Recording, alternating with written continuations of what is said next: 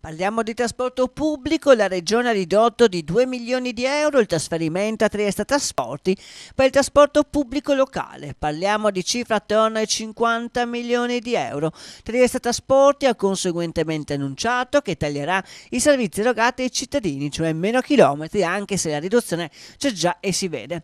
Utile ricordare che il servizio viene erogato in concessione che prevede tra l'altro l'esclusiva di Trieste Trasporti come prevede la legge regionale.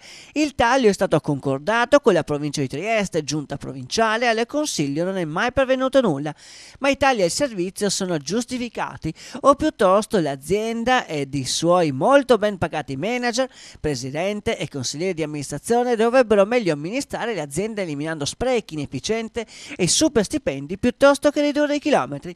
Queste le affermazioni del, dell'ex consigliere provinciale e candidato alle elezioni regionali Francesco Cervesi di una un'altra regione.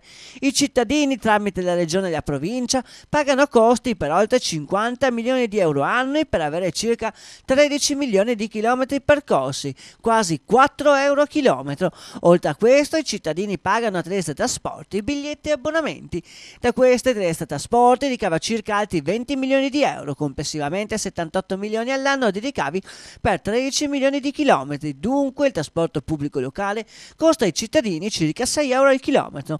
Questo numero, confrontato con i prezzi dei trasporti su gomma, valore di mercato, può dare l'idea delle efficienze della gestione dei Trieste Trasporti, ma anche dell'attività di controllo della provincia e della regione.